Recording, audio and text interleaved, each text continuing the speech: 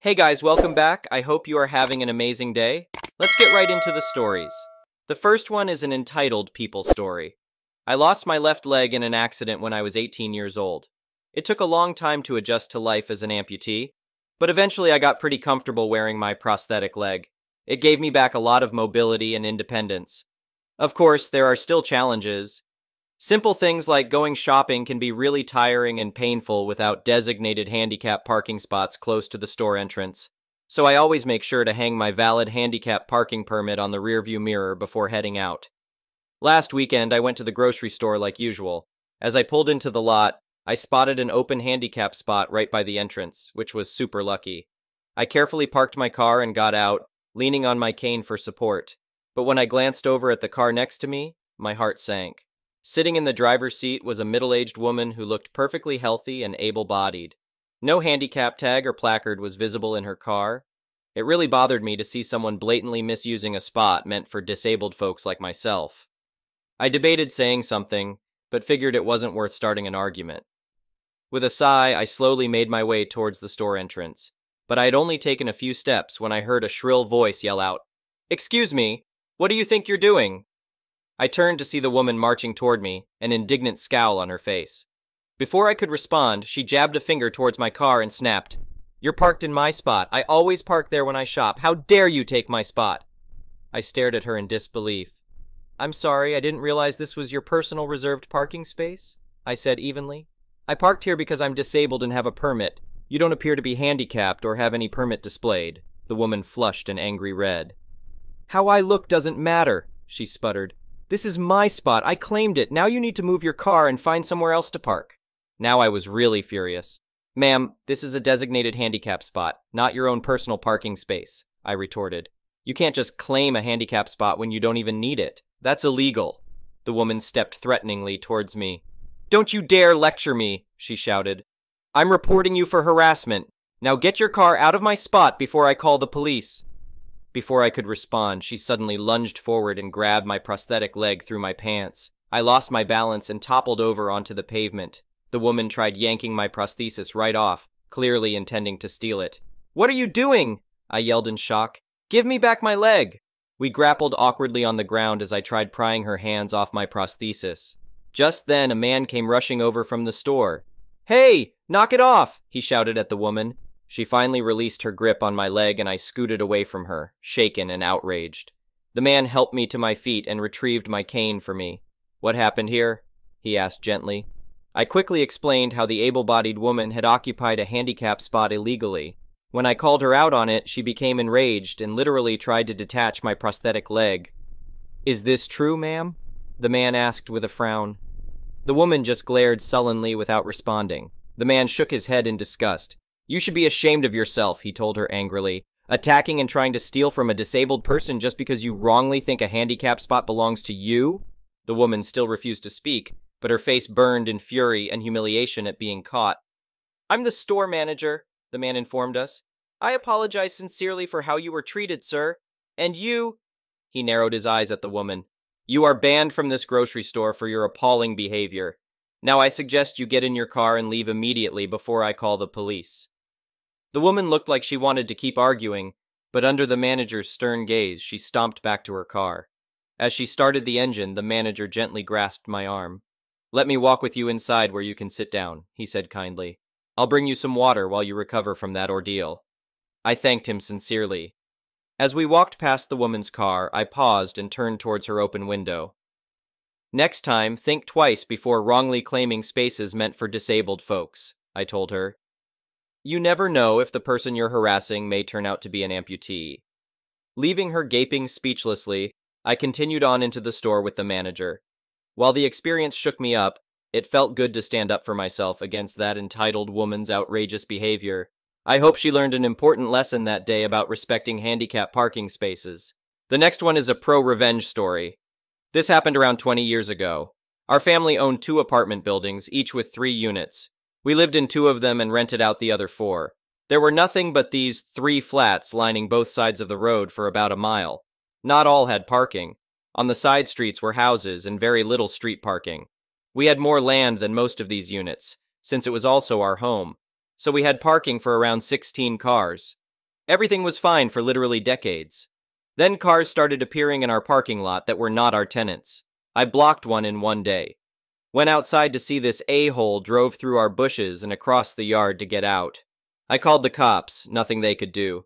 So I called a tow company and had them put up signs. We would have to call them to have a car towed. The signs seemed to work. No more random cars. Until New Year's Eve one year. I arrived home and every space was filled. There were even cars on the street blocking in the other cars. I was beyond pissed. I called the tow company. They couldn't do anything for a few hours because they were so busy. We were in the Chicago suburbs. It was below zero out. I had an idea. I dug out the lawn sprinklers and hoses. I ran one hose inside to the laundry room faucet and turned on the hot water. This way, the hose and sprinklers wouldn't ice up, but the cars and ground sure did. Three sprinklers, moved every half hour or so, for almost five hours. Every car, every square inch of the parking lot, the street by the cars encased in ice. I made it a point to spray ice in the locks between the window seals and glass, in the grills. I put away the sprinklers and hoses, went to bed. At 4 a.m., there was furious pounding on the doors, doorbells ringing nonstop. We just smiled and called the cops, waited until they arrived, and went outside. The cops were holding back laughter. These people were told to park here by their friend, who owned an apartment several buildings away, the same idiot who drove over our bushes. I pointed to the tow sign and told the people to move their cars or get towed. In our town, cops can ticket on private property with the owner's permission. So all cars were ticketed. They were also towed since nobody could get in their vehicle. Wish we had it on video. The next one is a petty revenge story. Something I, 28F, witnessed last night at the supermarket. I am way too much of a coward to do anything like this myself. I was in the condiment aisle picking out salad dressing. There was another girl, looked around my age, reading the back of mustard packages, I'm assuming, looking at the ingredients. In comes another woman, 40 ish, on a scooter. I don't want to contribute to stereotypes, but this was a rather large person and very cliche of the particular large chain supermarket I was in. She stopped her cart for 20 ish seconds, probably 10 feet from Mustard Lady. I didn't think anything of it. Mustard Lady was barely 5 feet and maybe 100 pounds, standing close to the shelves. She had a basket close beside her that I think took up more space than her. Suddenly, Scooter charged forward, swerving a bit closer to the shelves, looking right at Mustard. Admittedly, I had chosen that moment to try to peek at Mustard Lady's basket. I'm chronically curious. So I caught the whole thing. With a yelp and rather impressive back jump, Mustard Lady dodged the scooter, but her basket was toppled over, knocking several things out. Scooter Lady kept her head forward and made no acknowledgement. Before I could even decide if I had the social fortitude to offer to help, Mustard Lady scooped up her goods and basket, caught up with the scooter, and grabbed what looked like a box of pasta from the scooter's basket. She then walked across the aisle and made to put the pasta box on the top shelf where Scooter Lady couldn't reach. Scooter Lady screeched, What the hell? Mustard Lady responded with a deadpan, Oh, so you can see me. I don't remember the exact phrasing because I get petrified of even secondhand conflict, and it was so absurd. But Scooter Lady gave a short rant about Mustard Lady being in the way, and needing to pay more attention to her surroundings. I think Scooter Lady thought Mustard Lady was on her phone, her large yellow French's brand phone. I don't think Mustard Lady actually intended on placing the pasta box up on the shelves because she had been just sort of holding it up.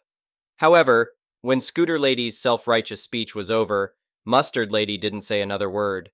From what I could see out of the corner of my eye, she didn't even look mad.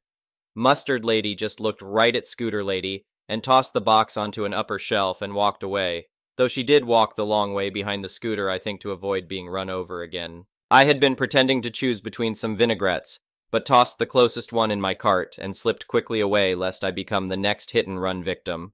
Fortunately, the salad dressing was very close to the end of the aisle.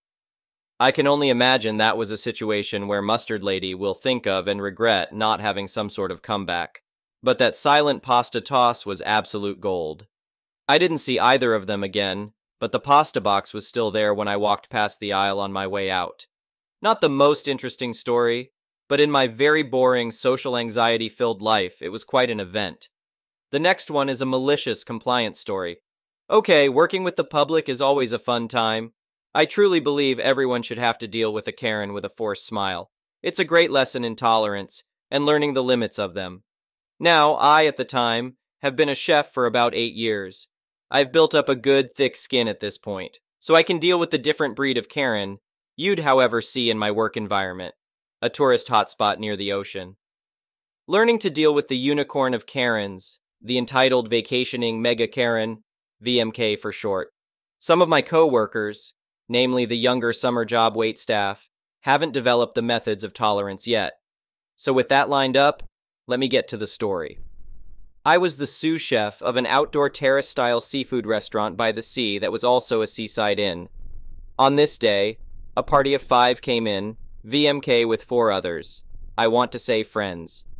The entire time I could hear her complain that the waitress was slow with service. Everything was taking too long. We had a full house at the time. Anyway, after chowder bread and a shared appetizer, all of which, according to VMK, took forever to get to the table, it was time to order salads. Now, it's at this point I can tell she has been there before because she ordered the Caesar salad, but made a point to say, hold the anchovies, because she was allergic. No. At this point, I should say that we serve our Caesar salad with two anchovies in an X on top of our dish. Now, she had said this in such a harsh way that my little waitress was about in tears, and VMK seemed to be enjoying it. Her friends seemed to be used to her type of behavior. So it was here I decided to step in. I walked over in my bright white chef coat with the tall paper chef's hat and spoke to Karen. I'm sorry I couldn't help over here. Please let me personally handle your order. We take allergies very seriously. I will be out with your order in a few minutes. So I then stepped inside. Our salad station was indoors. I asked our salad chef to make a Caesar salad without dressing or garnish, the anchovies, while I stepped inside the storage room and took the label off the box our dressing came in. Three minutes after I stepped inside, I came back out and placed a plate of romaine lettuce with parmesan cheese and croutons. At first, VMK had that smug, victorious look on her face. That lasted about 30 seconds till she realized loudly, Where the heck is my dressing? I asked for a Caesar salad. I, equally as loud but calm, my voice carries like that, said, But ma'am, you are allergic. I can't feed you something you are allergic to. She yelled, pointing her finger at me. I said I'm allergic to anchovies. I had your salad yesterday, and you put anchovies on it. I just want my salad without anchovies. Now go make me one without it. I said, but ma'am, it's right there in front of you. I have made you an anchovy-free salad. But from what you have just told me, I have good news for you. But let me confirm that you had my salad yesterday. Yes, I just removed the portion that had the anchovies on it. It's at this point I realized I had the attention of the whole front end. Aha, I said. Well, I have good news and bad news for you. The good news is that you are not allergic to anchovies, and the bad news is that I know this because you ate some yesterday and are still fine. Putting my hand up to stop her protests, I said, not as loudly but firmly. Anchovies are one of the main ingredients in Caesar salad dressing. Reaching inside my pocket and pulling out the label, I pointed to the second ingredient, anchovy paste. To this day, I can close my eyes and see her go from red to white and back again. Her friends almost fell out of their chairs laughing. I got a chuckle from a few other tables too. My little waitress got one hell of a tip from that table. Likely not from Karen, but her friends. The next one is an entitled people story. So I have this family member who seems to think everyone owes her because. family. She moved here with her husband and kids to be close to their parents, and proceeded to get butthurt because their parents didn't devote all their time to her and her kids, and worse still, didn't spend all their money showering the kids with gifts. My husband and I have recently built a house, and it was finally finished in time for us to move in before Christmas. I have a lot of children, some are adults, and have moved out of the family home. The only thing I wanted for Christmas was to spend our first Christmas in our new home with all of our children together for the first time in years. They always come and visit around this time of year, but with spouses, work, and other obligations, we haven't been all together at the same time for years, and especially not on Christmas Day. But this year my wish was granted, and I was Buddy the Elf, excited for Christmas this year. Last Christmas, entitled Family Member fed me a sob story about how they have no one and Christmas will be just horrible, so I told her they could join us if they wanted to, which they did. They proceeded to drink all the cocktails within minutes, just slamming them down one after the other, sat around complaining about the heat, complaining about other family members, ate, then left. I didn't really mind. If I'm honest, I had a migraine and was cooking in 40 degree C heat, so I didn't really have the capacity to care. I'd been talking about my plans for Christmas this year for months, moving into the house and having all my kids home. Entitled family member had plans of their own. They were all heading out of town and visiting other family members over Christmas. All is well. No issues, no problems. Well, if that were the case, I wouldn't be here now, would I? Christmas Day rolls around, and as planned, I had all my kids home, all the adult kids' significant others. It was a fantastic day. After Christmas dinner, I got a text message saying we're no longer family. Obviously, I reply with WTF and get a response saying we're not family anymore. She's done. Insert threats of self harm and hopes I have an amazing life. I had absolutely no idea where all this was coming from, but I guess in the warped mindset that is entitlement, it all made sense to her. After a lot of back and forth trying to figure out what the problem was, it turns out their Christmas plans fell through, and they had to come home before Christmas. Apparently, I'm a massive AH because I don't spend all my time stalking people on social media, and therefore didn't know they had returned home. I'm an even bigger AH because I didn't invite them to my house for Christmas Day. I'd been very clear in the lead up to Christmas. I know the entitlement runs deep with this one and had said multiple times this Christmas was the first Christmas in my new home and was being spent with all my children. No one else, no extended family, no friends. Just me, hubby, our kids, and partners. At one point, after asking what the problem was and getting no closer to an answer, I came straight out and said, Is this all really over the fact I spent this Christmas with my kids and didn't invite you and your family this year? Turns out that's exactly what the problem was. They'd had to come back home for whatever reason. She's ostracized herself and her family from the rest of the extended family, so they spent their Christmas in their own home with just her hubby and kids while I was making the most of my day with my hubby and my kids. And it hurt her feelings that my adult children had their long term partners here as well. Apparently, my kids' partners aren't family because being in serious monogamous relationships for years means nothing, and she's blood, so she should have been invited. Am I missing something here? Where in the rule book of family does it say I have to invite every man and his dog to my home for every special occasion? Where does it say everyone else's happiness is my responsibility? How do seemingly normal people build a mindset of the whole world owes me? The next one is an entitled parent story. I am confused, and I want to do a good job raising my daughter, and I want to be a good mom. She will be 17 in just a couple of weeks, and she only once ever had a job at McDonald's when she was 14. We forced her to have that job. I don't know what is going on inside of her head, but my sense is that she resented it at the time and resents it still.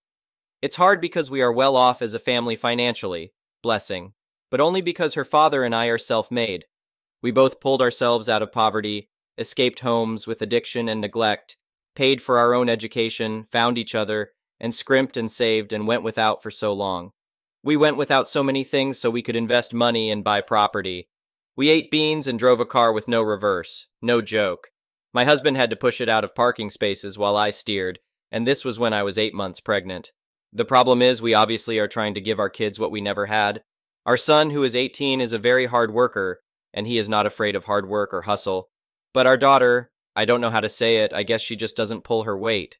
It doesn't feel like she pulls her weight around the house. She does well in school, and she plays varsity lacrosse. For this, I'm very proud of her. I feel so far away from her, though, and I cannot relate to her because she doesn't want to work or do anything for herself financially. She always asks us for money. We pay for her car, her car insurance, her gas, her phone plan, her health insurance, obviously since she's on our health insurance, and we send her to lacrosse camps and pay for her sport. We buy her clothes, essentials only, nothing fancy, etc. We put food on the table and we have a safe home. At the moment, our approach is if you don't want to work, then you need to learn how to live poor. There's nothing wrong with that. My husband and I lived poor for many years, and we were very happy. But if she doesn't want to work, then she can't have the extras. She wants to get her hair done, and I told her no because it's too expensive to get highlights. She always wants her nails done, and I always tell her no. You have to get nail polish from Walgreens and do it yourself, etc., etc. The thing is, I don't want her growing up feeling like money is a weapon. We are not withholding stuff from her to be nasty. But it's not realistic for her to expect people to pay for her lifestyle her whole life. The trouble comes in when I know, as a 17 year old female, she's doing battle right now to get on her feet, feel good about herself, and figure out who she is. So I want to support that and be compassionate. I want to help her be strong and independent. The reason I'm writing in this thread is that I'm sure there are a lot of young people here who feel unfairly treated by their parents. I would like your advice on how I can bridge this gap between my daughter and me in a way that supports her, but also holds her accountable for her own decisions. How do I do that? I'm scared that all she is going to remember is how we had the money to give her things and do things for her, but we didn't. And she will equate that with, she's not worth it. But this isn't true. But I don't want that to become her narrative, and her story that she tells herself as she fosters more and more resentment against us, and me in particular. What should I do? Update. Thank you to everyone who commented. I truly appreciate it. There are a mix of comments in here. To those of you who basically said she's just a kid or she's a minor, or since I had poverty trauma, why should I make her suffer? Well, she is one year from being considered a legal adult. So there's that. I would like to get her to a place where she's adulting at the level of a 17 year old. Working one 4 8 hour shift on a Sunday doesn't seem too outlandish to me. However, I did read your comments and I'm taking them on board as I try to understand all the different viewpoints. Thank you. To those of you who commented, give her an allowance and teach her budgeting. I will try some of your pointers. This seems to be going in the right direction. Maybe it's a good compromise. She's not exactly earning her own money or learning the important life skills of having a job that you don't always love but have to be responsible enough to do. But it could teach her budgeting. Thank you, you have given me lots of good ideas. To those of you who throw hate at me for raising her to be an entitled rich girl, maybe you can get in the ring against the folks that hate me for forcing her to live poor. Haha, ha, I must be amazing to simultaneously create two polar opposite, mutually exclusive existences for her. But this is Reddit after all. And actually, seriously, thank you for commenting. I was worried about not thinking about the situation from every angle, but I feel like the comments here really do come from every angle. And that is truly what I wanted and why I posted. Thank you for watching. I would really appreciate it if you could like the video and subscribe to our channel if you haven't already. We'll see you again tomorrow.